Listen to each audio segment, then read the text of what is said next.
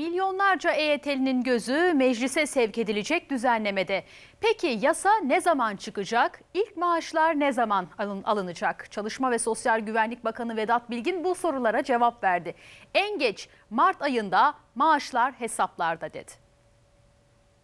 Hesabı kitabı yaptık. Maaşları bekliyoruz. Ne zaman yasa meclisten ne zaman çıkacak onu bekliyoruz. Emeklilik için hesaplar yapıldı, gözler meclise gönderilecek EYT yasa teklifine çevrildi. İnsanlar yıllardır bu EYT'yi bekliyordu. Şimdi EYT'nin onaylanması ve artık maaş almaya başlamasını istiyor insanlar. emeklilik hakkının kullanılması hususunda herhangi bir yaş sınırı uygulanmayacaktır.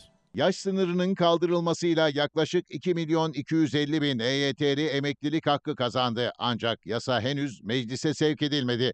Çalışma ve Sosyal Güvenlik Bakanı Vedat Bilgin gecikmenin nedenini açıkladı. Milletvekillerimiz gelen taleplerle ilgili uzman arkadaşlarımızla konuşuyorlar. Komisyon aşaması ay sonunu bulabilir. Ayın sonunda Plan ve Bütçe Komisyonu'na gitmiş olur diye düşünüyorum. Önce alalım.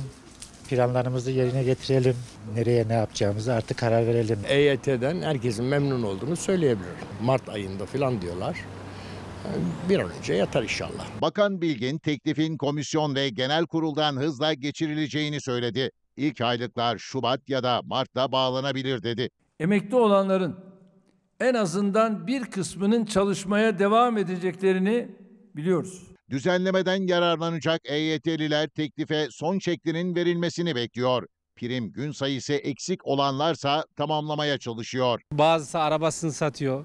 Bazısını işte e, eşinden dostundan yardım istiyor. Mesela e, Bağkur yatıracak bilmem işte eksikleri var. Yapılan çalışmaya göre EYT'lilerin yaş ortalaması 49.9. Kamudaki EYT'li sayısı ise 600 bin civarında.